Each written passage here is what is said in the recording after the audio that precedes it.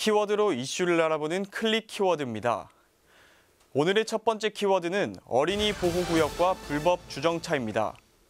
어린이 보호구역에서 사고가 잇따르면서 서울시는 불법 주정차된 차량을 주요 원인으로 보고 단속을 강화하겠다는 방침입니다. 경찰청의 통계에 따르면 최근 5년간 서울 시내 어린이 보호구역에서 4일마다 평균 한 건의 사고가 발생했다고 합니다. 서울시는 지난해 4개월간 서울 전역에서 특별 단속을 실시했고 총 5만 천여 대를 적발해 과태료 41억 원을 부과했습니다.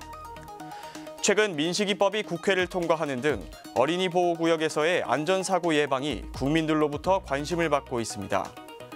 이에 서울시는 내년까지 모든 초등학교 주변에 CCTV를 설치하고 불법 행위가 발생하지 않을 때까지 엄중 단속하겠다고 밝혔습니다. 불법 주정차 단속도 중요하지만 근본적인 주차 공간 부족 문제를 해결하기 위한 노력도 필요해 보입니다. 두 번째 키워드는 베란다형 태양광 미니 발전소입니다. 환경오염 걱정이 없고 전기요금도 절약할 수 있어 각광받고 있는 태양광 에너지. 서울시는 올해에도 가정용 태양광 발전소를 보급합니다. 베란다형 태양광 미니 발전소는 아파트 베란다에 설치하는 가정용 태양광 발전소입니다.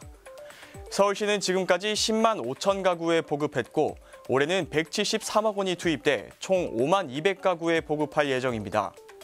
특히 올해부터 결속 부품을 부식에 강한 스테인리스 재질을 사용하고 낙하 사고를 대비한 안전장치를 의무화하는 등 시공 기준이 대폭 강화됩니다. 또 심사위원회의 평가를 거쳐 선정된 보급업체에서 보다 안전하게 시공받을 수 있습니다. 서울시는 베란다형보다 발전 용량이 큰 주택형과 건물형도 지난해보다 확대 보급하겠다는 계획입니다. 이번 기회에 전기요금도 아끼고 미세먼지 걱정 없는 친환경 에너지 생산에 동참해 보셔도 좋을 것 같습니다. 마지막 키워드는 설 선물 과대 포장 단속입니다. 서울시는 설 연휴를 앞두고 선물 세트 과대 포장이 유발하는 환경 오염과 자원 낭비 등을 예방하기 위해 집중 단속에 나설 계획입니다. 명절마다 즐겁게 주고받는 선물 세트. 그러나 명절이 지나면 집집마다 버리기 위해 내다 놓은 선물 상자를 쉽게 볼 수 있습니다. 이에 서울시는 오는 23일까지 백화점과 대형 할인마트를 중심으로 집중 단속을 시작합니다.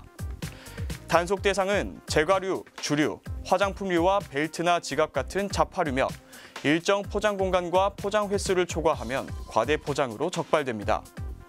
위반 시 최대 300만 원의 과태료가 부과됩니다. 단속은 백화점이나 할인마트를 중심으로 진행되지만 소비자들 역시 과대 포장 예방에 대한 인식을 같이 해야 할 것 같습니다. 지금까지 클릭 키워드였습니다.